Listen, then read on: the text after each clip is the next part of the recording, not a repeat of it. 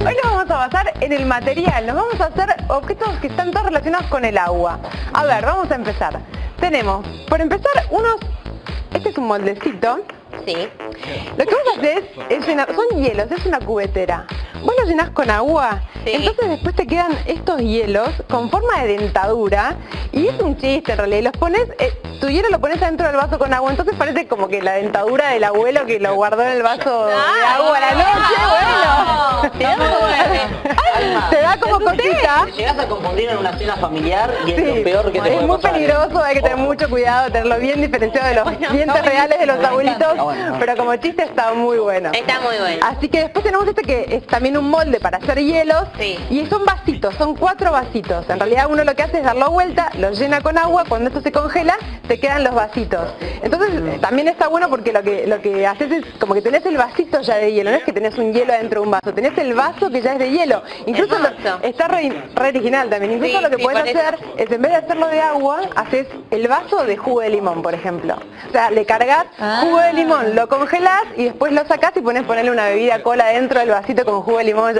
Bueno, igual Re- lo tenés que tomar No. rápido y en invierno para que no se derrita, ¿eh? Sí, rara. sí, sí, sí, hay que tomarlo medio rápido, pero también está Con guantes, No me- no No, sí, sí, está buenísimo. No, no, no, no, boicoteen, está buenísimo.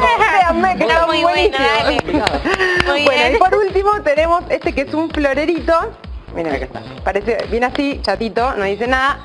Lo vamos a llenar acá con agua. ¡Wow! Ay, es. En Alemania tiene muchos de esos.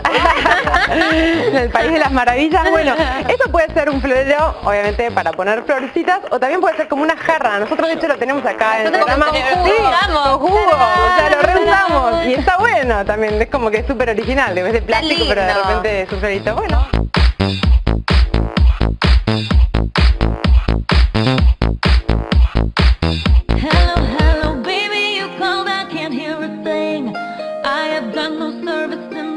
Y nosotros vamos a empezar a hacer la coreo, que Sí. tanto deseamos. Sí, una coreo que queríamos las dos hace un montón, la replaneamos, que es Telephone de Lady Gaga, espero que les guste. Sí. A nosotras nos encanta, ¿o Obvio. no, Lau? Así encanta. que bueno, espero que les guste. Empezamos. Dale. Vamos a hacer, subo para arriba la pierna derecha, subo, subo, subo cuatro veces y acompaño con los hombros, ¿sí?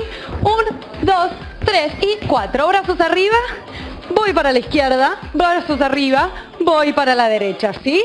Ahora viene el paso más difícil, que es brazo arriba y muevo los pies, baja y vuelvo a mover los pies, como que me voy deslizando, ¿sí?